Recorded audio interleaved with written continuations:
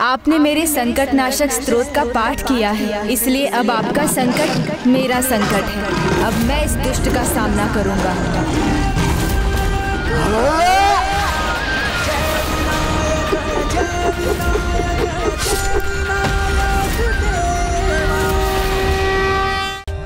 For more updates, subscribe to our channel, click the show links and enjoy watching the videos.